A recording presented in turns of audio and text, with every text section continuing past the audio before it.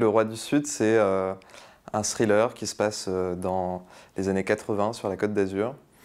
un peu comme dans Les Affranchis de Scorsese, il y a des mafieux en costume, des politiciens pas forcément très nets, des avocats véreux et la fête et beaucoup d'argent.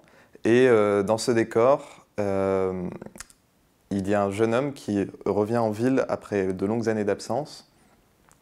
Sauf qu'entre-temps, il y a un détail qui a changé, c'est que son père a pris les rênes de la ville.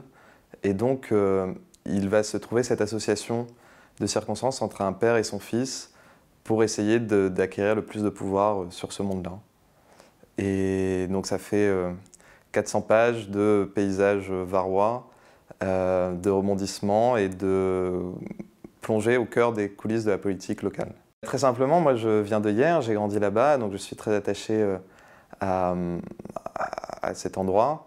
Et puis je trouvais que c'était un décor fabuleux parce que c'est, euh, euh, ce sont des années, les années 70 et 80, qui peuvent presque être assimilées aux années de plomb en Italie, par la violence du combat politique, par la succession de morts plus ou moins mystérieuses.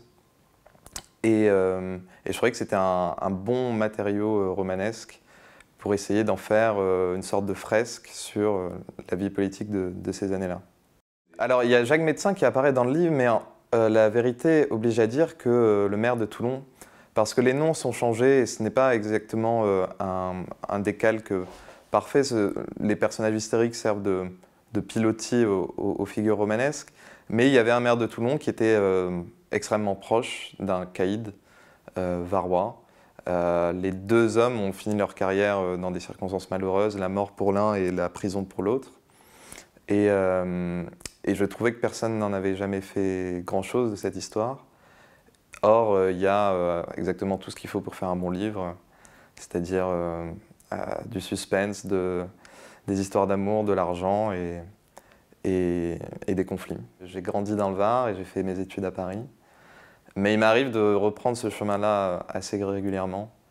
Et, je trouve que c'est une région qu'on ne perçoit souvent qu'à travers un certain filtre, celui du folklore et des clichés, et qui révèle, qui recèle des merveilles absolument extraordinaires, euh, des institutions culturelles euh, très imaginatives, un art de vivre, euh, pour le dire de façon un peu,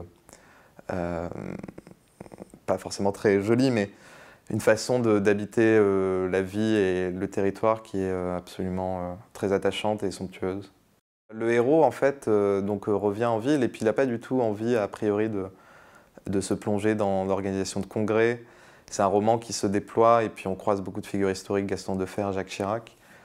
Mais il y a toute une partie qui raconte sa vie d'un jeune homme de 21 ans, c'est-à-dire il tombe amoureux de la plus belle fille de la région, ils font la fête sur les îles de Porquerolles, ils euh, écument les boîtes de nuit.